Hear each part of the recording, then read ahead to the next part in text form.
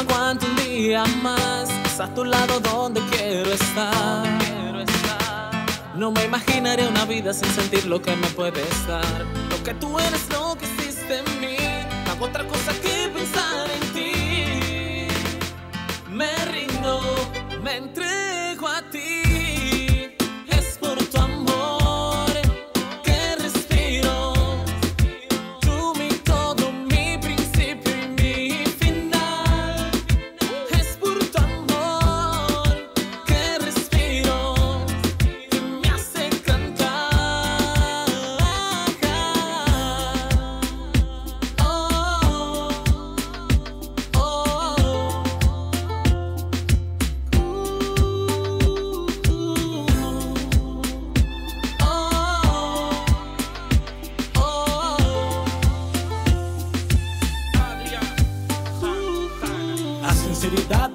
hay que pedirlo.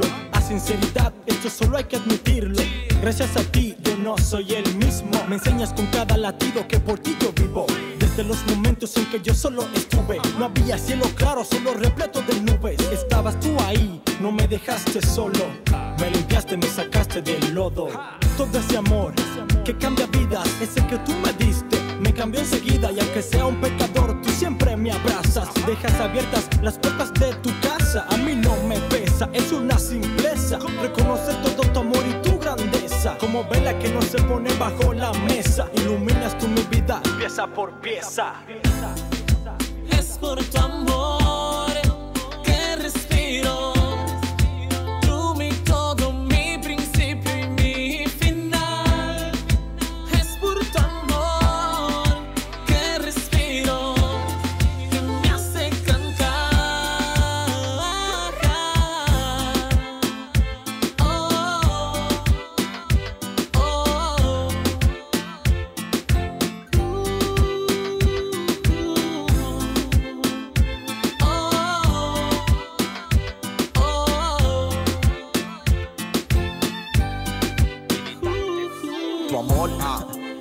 Sin tu amor me siento yo como un carro sin motor. Como alambres de electricidad sin el transformador. Entonces, ¿cómo no querer en Dios? Si al abrir los ojos sin mirar alrededor, al sentir sin el contacto, si hay frío, si hay calor, entonces vuelve la pregunta: ¿cómo no creer en Dios? Si Él es el creador, el que está sobre los tiempos, el principio y el final de cada acontecimiento. Quien manda la remesa en bendiciones a su pueblo, de nosotros el sustento más allá del alimento, de los ricos el sentimiento, de los pobres el consuelo. Tu amor es que yo canto, por tu amor es que yo vivo. Gracias a tu amor hoy en día yo respiro, me sacaste del abismo con tu amor de padre, viéndome como a tu hijo, me abrigaste con tu espíritu. Tu amor es lo inexplicable, frustración de los científicos.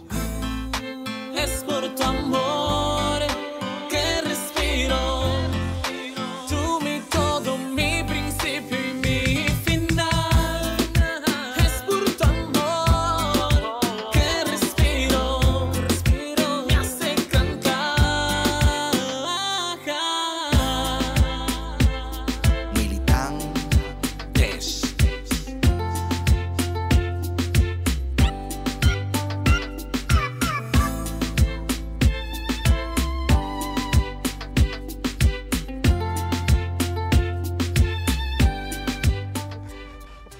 Estos camarógrafos haciéndome bullying mientras ustedes ahí estaban viendo el video.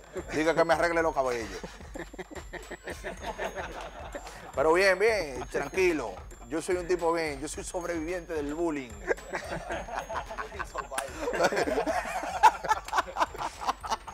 Padre, estamos hablando de, de- Se me fue, se me fue, se me fue. Del- del método Del método, del método que, que San Ignacio de Loyola no tenía lo que nosotros tenemos. Ok, los métodos están. ¿Cómo, o sea, háblame de este asunto? O sea, ¿qué método yo puedo vivir? Si esto lleva una- unas etapas, oriéntame un poco con eso.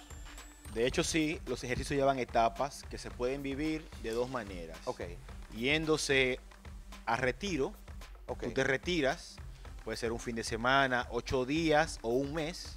Párate, párate, párate. Un retiro de ocho días. De ocho ¿verdad? días. Un retiro de un mes. Un retiro de un mes. De un mes. Pero eso no es para casado. Para cualquiera, se puede ser No, para cualquiera. yo, para me le cualquiera. voy, yo me le fui 15 días de, de misión a Estados Unidos y mi esposa estaba que nada más Dios sabe cómo me le voy por un mes y hay problemas. Un mes, un mes. Mi amor, fue San Ignacio de Loyola, ay sí. Entonces, eh, mi hermano, oriéntame, ok, eh, un fin de Un semana. fin de semana, ocho días, ocho días o un mes. o un mes. Eso sería como la modalidad apartada. Oh, que tú te retiras Ok, de re- justamente de retiro. retiro. Muy bien. O en la vida cotidiana. Ok. Entonces vas durante tu vida ordinaria, sacas tiempo para ir aplicando, digamos, las oraciones que te van proponiendo y tiempo para reunirte con tu acompañante espiritual también. Ok, luego de los retiros, eh, en mi vida de cristiano surge una persona que sería mi guía espiritual. Es lo que tú me estás diciendo. Casi siempre, exacto, de esta experiencia surge eso, pero todas las, todas las modalidades van acompañadas de un guía espiritual. Ok. No es una experiencia que se hace sola, sino que es una experiencia acompañada. El que te acompaña no hace la experiencia, es una persona que ya hizo la experiencia y Es maneja el método. es luego de. Luego de. Luego de, perfecto, muy bien. Entonces, eh, háblame de ti, ven. Háblame de ti, que tú tengas una de estas experiencias, ¿verdad? Sí, así Va, oriéntame. Justamente yo tengo la, la bendición de empezar a vivir la espiritualidad ignaciana recientemente. Ok. Y justamente estamos haciendo... No, y pues, viniste con una blusita verde, está verdecita ella, en- en la espiritualidad ignaciana. Muy bien, muy bien, tú estás en eso. Sí. Y, y bueno, eso precisamente de la vida cotidiana es algo muy importante y me gusta mucho resaltarlo porque entiendo que es precisamente parte de ese olor a Cristo que debemos Sí, de porque tener. vivimos, vivimos en la calle. Claro, llevar ese Vivimos- olor en la casa se pelea. donde sea que estemos, ya sea en la escuela, ya sea en la universidad, en tu trabajo, donde sea, que eso se destaque. Yo de manera particular he experimentado de manera muy personal la misericordia de Dios, de saber que Él me ama como soy, de saber que yo soy su niña mimada y a partir de ahí yo poder realmente amar a los demás y demostrarles a ellos que Dios también los ama. O sea, es una experiencia sumamente bella y Wow. yo lo recomiendo siempre. Gloria a Dios, gloria a Dios. Entonces en tu casa tú muestras amor. Tratamos, sí. Sí, sí. Eh, eh, nos reímos, nos reímos. Pero el lugar más difícil es para nosotros mostrar a Cristo en la casa. Somos muy chulos en la iglesia, arreglamos sillas, limpiamos los bancos y en la casa no queremos fregar. ¿eh?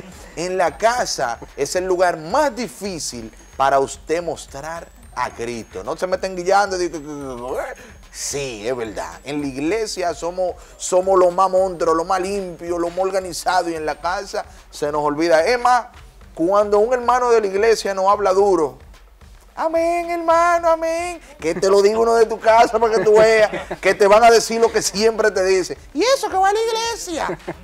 Tú sabes que te lo dicen. ¿Cómo a mí te lo dicen? Pero tú, tú sabes algo, desde la espiritualidad ignaciana, nosotros definimos el amor en tres grados. Eh, tú ves, eso me gustó del padre. Eso me gustó. Vamos allá, oriénteme eso. Tenemos tres niveles. Tenemos tres niveles. El primer nivel es eh, no romper los mandamientos. Eso es signo de que tú amas a Dios. O sea, estas son las normas de vida y tú vives así. Pero eso es un amor imperfecto todavía. Eso es un amor El imperfecto. primer nivel, El primer el nivel. más chiquito, el más suave, es. Óyeme, Dios lo puso hasta más suave porque vio que cogíamos lucha con los 10. Dijo, vamos a resumírselo en dos. Amar a Dios sobre todas las cosas y amar al prójimo como a ti mismo. Entonces tú me estás diciendo que es el más chiquito. Es el más chiquito. Sí. Luego entendemos también que otro nivel sería tú no romper los mandamientos y querer hacer cosas buenas. Como nos dijo la- nuestra hermana en la última llamada, ¿cómo podemos mostrar a Cristo? Haciendo el bien, moción. O sea, Haciendo el bien. verdad, segundo nivel del amor. Vamos allá. Entonces el tercer nivel del amor es hacer lo que Jesús haría. Vivir como Jesús viviría. Ese es el grado perfecto del amor. Wow. Vivir como Jesús vivía. Y los ejercicios te llevan a eso. A tú, si no llegaste al tercero, por lo menos desearlo. No, no, está bien, está bien. Familia, hablamos de tres niveles. Los mandamientos. ¿El segundo? Los mandamientos y el servicio. Y el servicio. Ah, lo- espérate, que el segundo viene con los mandamientos también. Y El, el servicio. Y el tercero, Hacer los lo mandamientos. Jesús- El servicio. hacer lo que Jesús haría. hacer lo que Jesús haría. Familia, ¿y ustedes saben lo que Jesús hizo? Oró. Luego de la pausa volvemos al momento de oración. Así que no te muevas, que seguimos en este tu espacio, el girocopio. Prepara el corazón que vamos a orar. Ya tú sabes. Vamos a una pausa. Volvemos ahora.